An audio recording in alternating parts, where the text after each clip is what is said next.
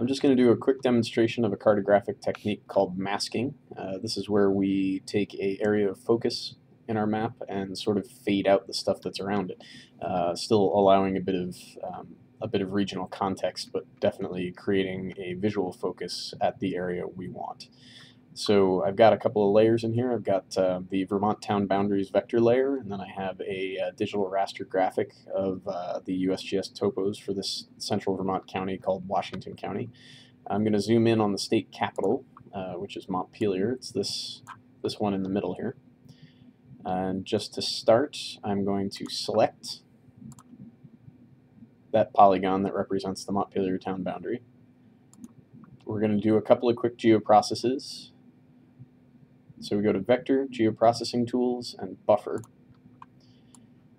We want to make sure that the Use Only Selected Features box is checked. Uh, that way it doesn't buffer every feature in the data set. It's just buffering the Montpelier polygon.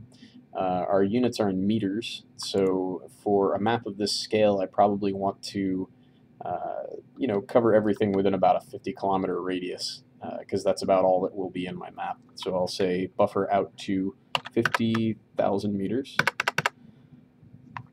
Uh, and then I want to dissolve the buffer results. And then hit OK. It's a very quick process. You just add the layer when it's done. You can see that it's a fairly large circle covering our, our area of interest now. Now, in order to remove that area, that uh, town boundary polygon, and create sort of a window into, into that data, uh, we're going to do another geoprocess, which is called a difference.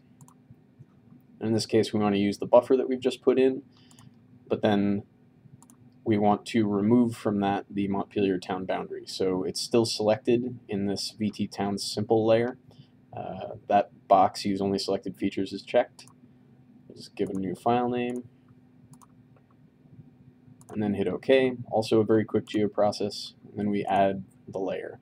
Now you can see I'll turn off the original buffer. I'll turn off the town boundaries. And you can see that that little window lets the raster underneath come through.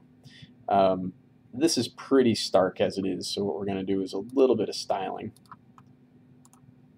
go to properties. I tend to like using the new symbology, but it's it's a personal choice. Um, our transparency, probably best if we set it about one quarter transparent, so 25%. And then white tends to be a really good fade color for this sort of thing. Creates a sort of a fog or a haze effect. Uh, and we'll hit apply, get rid of that.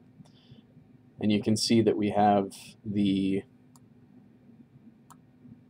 town of Montpelier with its raster data coming through clearly. The stuff around it is still there, but it's faded into the background.